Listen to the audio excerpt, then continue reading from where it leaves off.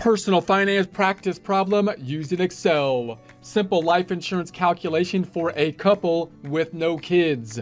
Prepare to get financially fit by practicing personal finance. Here we are in our Excel worksheet. If you don't have access to the Excel worksheet, that's okay because we'll basically build this from a blank sheet. But if you do have access, three tabs down below, example, practice, and blank. Example tab, in essence, an answer key. Let's take a look at it now. Information's on the left-hand side. We're gonna do the calculations for the insurance needed on the right. The practice tab has a pre-formatted worksheet so you can do less Excel formatting. The blank tab will basically work it from scratch. This being the scratch on the left-hand side will work from if you don't have anything anything, you can just add the scratch, this information on the left-hand side. I would start by selecting your entire worksheet if it was blank, right-clicking on the selected area and lay down your base beat formatting, format the cells, and then I would go to the currency, brackets, get rid of the dollar sign, and no decimal. That's my starting point. Typically, I'm not going to hit OK because I already did this. I'm going to close it out. That's what I would do if it was a blank sheet, and then add your data on the left-hand side, which is good practice to do whenever you're formatting any worksheet. Make a skinny C column and we're good to go. So we're going to imagine a married couple here. It could be any couple that are kind of commingling their finances that have no kids and that are not planning to have kids in the future. And obviously the kids are going to make things a little bit different. So for example, if we have two individuals that are a couple that have kind of commingled some of their debt, for example, and whatnot, and are dependent on each other for some for some things, but don't have the kids, then their earnings might be, say, similar in nature. We're going to just say 73 and 73 here. Uh, if the kids were involved, or if there's planning for kids, you would expect when the kids were involved, you might have more disparity between the two spouses because one of them might be spending more time than the other, for example, in order to help with the child care. Uh, so that's when you might have more of a disparity there. You might then be planning for for how long you're going to be needing to support the child, at least till possibly 18 or possibly uh, longer than that. You might be calculating things like education uh, for the child, which would be both people's kind of responsibility, both spouses' responsibilities in that case. So that complicates things. We'll talk more about those examples in future presentations. Uh, if you're planning for the kid in the future, then again, you might want to get the life insurance earlier because the life insurance could be cheaper when you're younger, for example, and try to think about how much life insurance you might need basically as you expand uh, the family needs into the future or you can try to set up life insurance that could expand with you, buy more life insurance as the need goes. But obviously, the younger you buy the life insurance, then uh, it might be cheaper to get the life insurance when younger, for example. So we're going to imagine then that we've got two individuals that are kind of commingling their finances, married couple that are not planning to have kids and have no kids, which could be a more more simple kind of scenario. So we're going to imagine that they have a home mortgage, so they have a home and a mortgage on it that they're both responsible for at the 145,000, the car loans for both at the 35,000, the personal debt at the 10,000, and the credit card loans for the 9,000. Uh, no kids involved. Funeral expenses are the 8,300. So what if you might think of each spouse then what would be their life insurance needs possibly? Well, you would think then, well, if if it's just basically there's no kids involved, then you might be wanting the life insurance to kind of settle the amount of your debt, for example. Obviously, uh, if you were to pass away and no longer have the earnings for the committed debt that you've basically kind of committed to uh, paying off, right? So you're thinking you're going to at least pay off the debt or your half of the debt as you as you live together. If you were to die, you don't want to burden the other with basically your half of the debt that kind of you committed to. So you would think that that would be kind of a baseline plus possibly the funeral costs. So it might be a little bit easier of a calculation in that case. So you might say, okay, well, let's make column D a little bit larger. And let's say we had how much insurance needed to be responsible in this case. We could say, let's let's put some black and white up top, home tab, font group, make this black and white.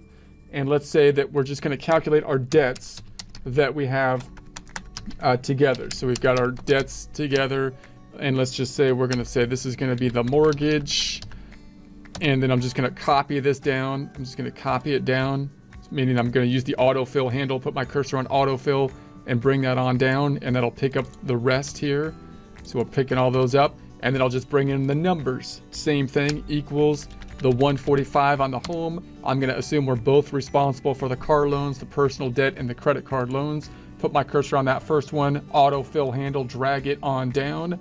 So there we have it. So we're going to say total debt, total debt. We might say joint debt, total, you know, joint debt that we're both responsible for. It's commingled. And let's basically indent here, alignment and indent. I'll double indent here, alignment, indent again. And we might bring this to the outer column. Let's let's bring it out to the outer column and say this is the sum of these items. So there's our total debt. And then we're just going to say we're both responsible for it. So I'm going to say I'm responsible for half of that. So I'm just going to say, all right, divide, divided by 2 for my responsibility. So there's the 2. Let's put an underline here, font group and underline. And see, and then this is going to be half of the debt, half of total debt, or possibly the joint debt, is going to be equal to the 199,000 divided by 2.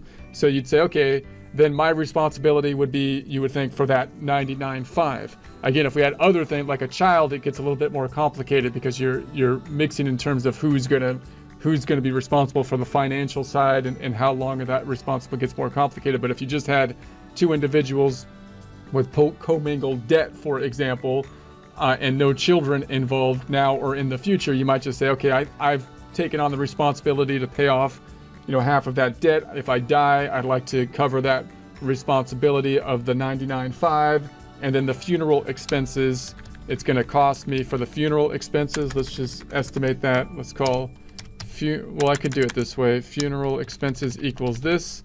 We're going to say that we also don't want to burden them with the funeral expenses 8003 just dump just burn me up in a bonfire and dump me in a coffee can and throw it into the ocean for crying out loud $8000 font group let's underline it here for our most modest receptacle costs $8,000 so this is going to be the insurance needed and so we'll sum this up equals the sum of these two so we're at 1078 Let's put some black and white over here. Font group black and white.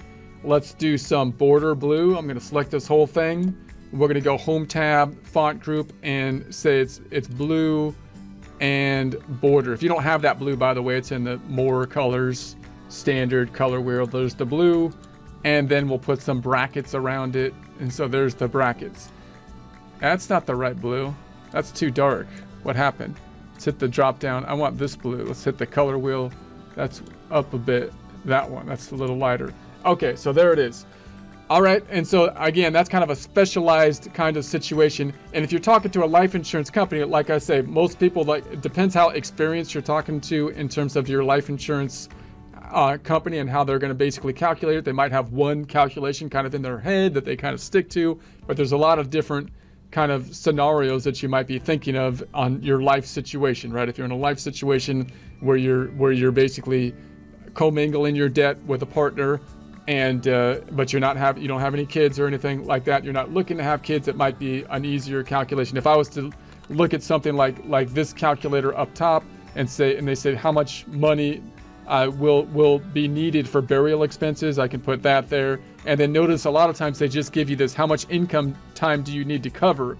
And I said 10 years or something like that. But if you're thinking about it this way, it's like, eh, I'm not really covering 10, 10 years. You might try to say how much time would it cost me to cover the mortgage and then try to basically calculate your half of the mortgage over the life of the mortgage or something like that and use this kind of calculator to say, well, the mortgage has 15 years left on it and I'm going to be paying my part of the mortgage, which, which let's say, you know, let's say the mortgage was calculator.